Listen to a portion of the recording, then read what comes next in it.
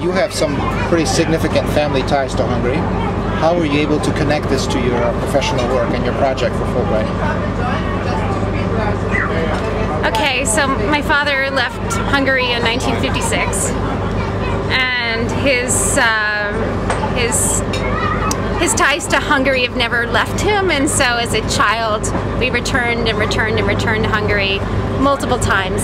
So I spent many summers in Keszthely, where my grandparents had their house, and uh, I decided when I was 20 to learn Hungarian. So I, I really pushed myself to be able to speak to my grandparents before they died, and I was able to. And then I became a journalist and a visual artist and all this stuff. And at the same time, I've always been extremely interested in um, my father's story. He had a dramatic life. He was a farmer boy and he lived through World War II.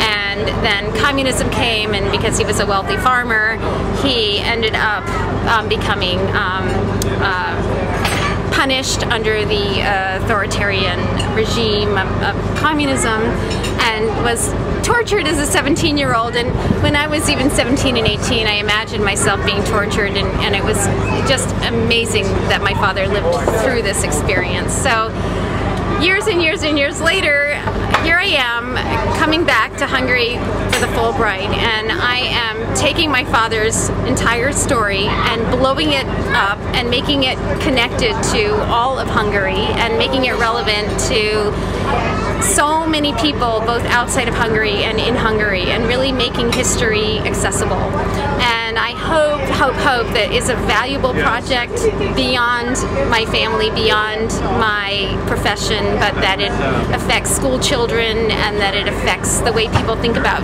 Hungary and that it tells the story of everyday people instead of the great people who are um, usually the subjects of films and documentaries and, and uh, and so that's why I'm here. Okay, and how will people around the planet be able to to read your story and to, to, to take part in the work that you've done? My website is going to be a public document and it's going to be accessible to everybody in the world. And it's also going to celebrate the archives that are uh, amazing, the photo archives in Budapest. And it's it's going to be a tool for other historians and other artists and all these people to say, okay, this is one story. Let's see what my story is. Let's see what your story is. Let's see if we can learn how to use photographs to tell so many different stories because the archives are so rich and it's so important that they are there.